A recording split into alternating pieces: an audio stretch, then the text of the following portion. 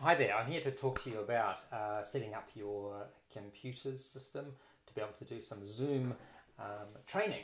So um, this is when you want to present to the participants who are joined into your Zoom meeting. So I'm going to take you through the microphone, lighting, uh, monitor setup, uh, green screens, the what I've basically got set up here as an example of what you might be interested in setting up yourselves. Um, so don't think you have to get everything, just get um, uh, the bits that work for you and how to improve your particular delivery. So I'll start with the microphone. I've got, the, I've got a condenser mic here. Now a condenser mic is pretty um, expensive kit um, and it's also um, probably over the top for what you need for general Zoom meetings. Um, but if you want to get the, the best sound, and I think sound is really important when you're doing a Zoom meeting, it's one thing to uh, have a poor audio, uh, sorry, poor uh, video connection, but uh, students are seldom prepared to uh, tolerate a poor audio connection. Um, so being able to hear people clearly is a very important um, setup within Zoom. Um, so I've got a condenser mic, but you can use other mics. You can use lapel mics. So these are mics that just um, stay somewhere on your shirt and pick up just the um, the audio coming from your your voice. Um, that's really important. You don't want to get ambient sounds coming in, um, dogs barking, kids crying. Those sorts of things are distracting to people who are listening to a Zoom meeting. So other than closing windows and uh, closing doors, um, you can also do other things like, for example, uh, turning on a fan, um, perhaps, or having some sort of ambient noise like music, um, which can drown out those background noises which may be distracting. Um, I've got another example of a mic here, um, which is a mic that just plugs in via USB into your computer and takes that digital sound straight into the computer, which is pretty handy too. you'll see here I've also got a what's called a pop filter. this filter pops out, or rather filters out the um, pop sounds. These are the, the P's and the T's um, that generally um, max out um, a recording um, level. So try and use those basically to, to keep the sound nice and nice and gentle, not too extreme. Otherwise, that too can be distorting um, at the other end when students are listening to what's going on. Um, so looking at um, other things like monitors, for example, is, these are monitors um, extra monitors that I've attached to my laptop here. So I've got my laptop here with a, a screen on it, and then behind it I've got a larger monitor. So this larger monitor displays the students, so I can see the students, um, and then I can display the slides or the, um, the content that I'm screen sharing with the students on my laptop monitor.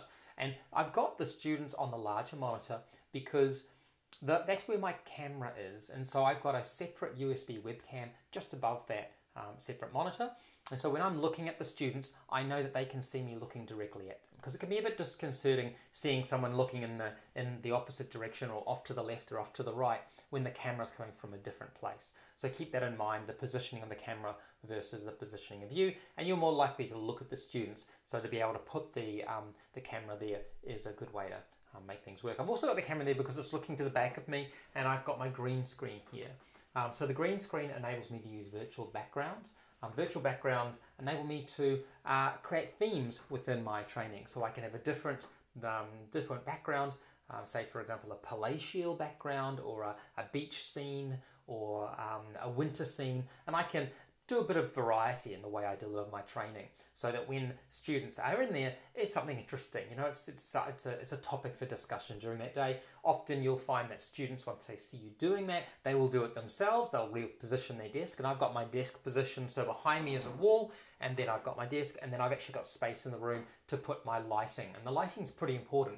So lighting comes down here and lights up my face, so I become more of the subject that is in the picture. I've also got lighting off to my left. So I've got two different lightings which enable me to, to highlight me as being here. It also enables the, the green screen to have an even um, color across it so that the green screen works effectively. If I have too many creases that create um, uh, shadows, those shadows, the harsher they are, the more likely the green screen is not going to work effectively. But you can see here I've got creases on the screen, uh, in the green screen, and it's not making a big difference.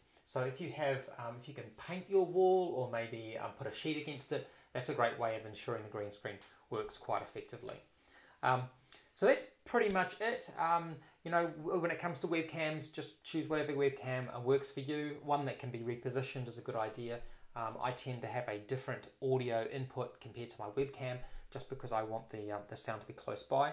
Um, I use two different uh, types of headphones. I've got these headphones here which allow me to block out noise from outside, but it's got a very good mic that connects into it. Um, I've also got, however, uh, these microphones here that are on the end of my, this is just from my mobile phone. So it's just my mobile phone connection, my earplugs that I can plug into my ears like this. I can plug into my computer and that allows me to use my props. So I've got a few different props down here. I've got uh, cool looking hats that I can wear. Now I couldn't wear that if I had my, my over the head um, uh, comfortable earphones on. I can if I've got my earbuds in. Um, and I've got a number of other props here, literally soft, soft toys um, and uh, other things like a collection of hats here um, that allows me to uh, vary um, the look um, of what's going on during the course. And to keep students engaged, these are the things that will, will keep them uh, second guessing what you're going to wear and uh, making comments and uh, maybe even contributing. You'll find that uh, if you constantly wear a different hat, you'll find within a, a, day or two, or maybe even on the same day, people will come along wearing their hats. And that just demonstrates the students are engaged, which is what it's all about. So, um, yeah, that's pretty much it.